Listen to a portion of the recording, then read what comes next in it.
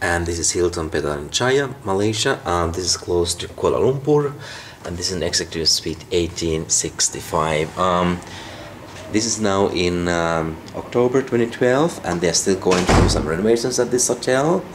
But this room has already been renovated, and I really wouldn't call this an executive suite. I would call this a um, junior suite because it's not actually divided. But when you come inside, you have a like a small, small table here. You can have a meeting or maybe eat. And here we have the usual coffee and tea facilities. And we have some um, some mini bar items here as well. And they used to have oh they still do actually. So they used to have some some plates and stuff over here. I don't know why they have those plates because there's no microwave over here. Um, there was some some amenity here um, last night.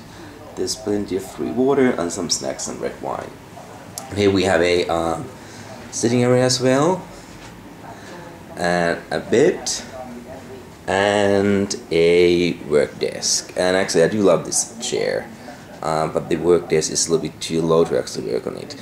And actually, you can, and this TV, you can actually move around, so you can actually watch it from the from the sofa as well if you want.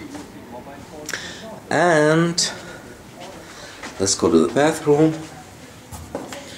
So here we have the toilet, usual toilet, of course. Uh, that's the basic version. And here we have the uh, the self facilities. So they do have the rainforest shower, and as expected for a Hilton hotel, they do have the uh, Peter Thomas Roth line of um, amenities. So they have a shaving kit, a couple of um, toothbrushes, here's a sink, um, here's a bathtub, and as you can see you can actually see to the to the bedroom and outside, but you can actually um, you can close the curtain.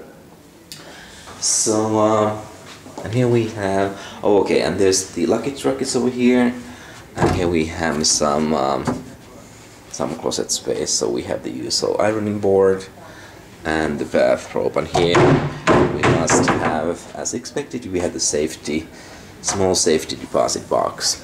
So overall as you can see it, it's it's pretty nice um, but I wouldn't still wouldn't call this an executive suite. I would call this a junior suite. So this is the um, Hilton Petaling Jaya which is very close to the um, to Kuala Lumpur. And this is the um, Executive Suite 1865.